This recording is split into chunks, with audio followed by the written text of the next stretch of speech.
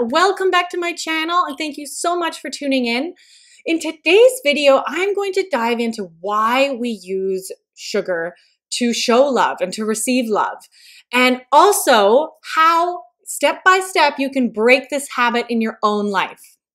Now, before I dive into all the details, don't forget to subscribe to my channel below and hit like so I know what videos to keep making for you. I've also posted a link in the comments below this video so you can head over and sign up for my newsletter list. Next week, I am sending out a great list of tips and ideas, ways that you can celebrate Valentine's Day or any day of love for that matter without sugar. So sugar equals love for most of us. Those two words are really synonymous for so many of us. And it's been over the past 60, if not more years, we have been trained by food manufacturers to believe that that is a healthy way of expressing a whole bunch of our emotions. So whether it's joy, celebration, happiness, sadness, and love. Now, because food manufacturers know just how addictive sugar is, they've been using it to their advantage in linking subconsciously, you know, holidays, birthdays, celebrations, and emotions such as love with sugar. I mean, when was the last time you thought about Christmas and didn't think about sugar? Or Valentine's Day, or your birthday, or a great Friday night?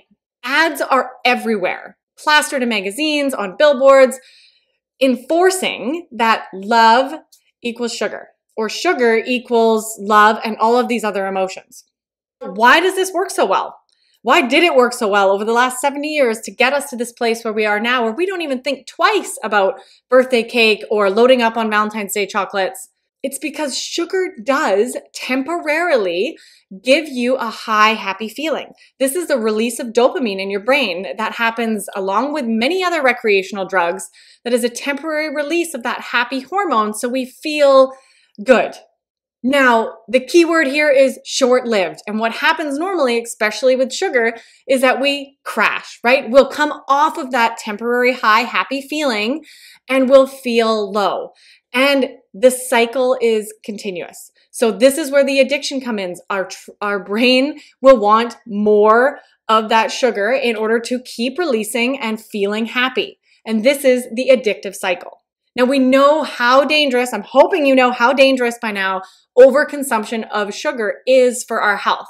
And it is so important to think and look at in your own life how you're using sugar in terms of all these other emotions. Today, I'm talking mostly about love because Valentine's Day is right around the corner, but it's all of these emotions and how we actually celebrate or deal with them using something as toxic as sugar needs to stop. Let's face it, most of us show love by baking or buying um, treats for someone that we love, or giving candy to our children, or perhaps loading up on chocolates for the next holiday to give away as gifts to those around you. It's treating ourselves to something sugary at the end of a long or successful day at work. But these are not the true meaning of love. These are not ways that we're providing health and happiness in a real emotional connection way.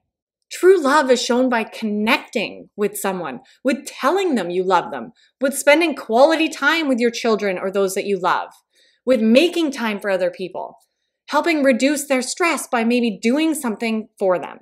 There are so many ways to show, give, receive love, both to yourself and to others, that should not involve sugar. So now how can you start breaking this habit? Because it is a habit. It's so deep rooted in our subconscious that we reward ourselves. We show love with sugar.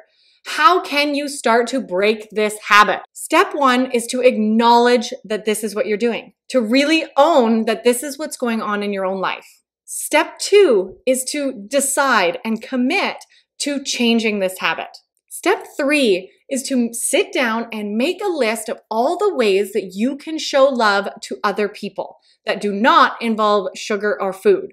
So anything from giving a hug, doing someone else's chores, planning a surprise getaway, anything that really is a real way of connecting and showing love to someone.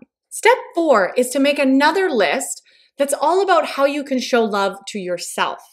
This is a huge and very important list because so many of us, maybe you watching this right now, is showing love to yourself by buying treats or indulging in unhealthy um, behavior and sugary foods. Make this list, whether it's saying no to certain things in your life, or prioritizing your sleep and your self care, or even the most powerful way is to say, I love you, or something that you love about yourself every day in the mirror when you wake up. After you've made both of these lists, the next step is really to post reminders around your house. So remind yourself um, around your house on post it notes or on your phone as a reminder how you are planning to show love going forward instead of using sugar. Now, the last step is now that you're aware of that this is going on, whenever a holiday or i.e., Valentine's Day, or a special occasion, or something comes up, ask yourself, how can I show love without sugar or food for that matter? Asking yourself that question will open up that channel in your brain and remind you of those amazing lists that you've already made that you can refer to and use those to actually show love. Now, don't forget for even more tips and a huge list of ideas for celebrating Valentine's Day without sugar, come on over and subscribe to my newsletter. Um, the link is below and keep your eye on your inbox next week for that list. Thank you so much for tuning in and please don't forget to hit subscribe below and like this video. Thank you so much and I'll see you next time.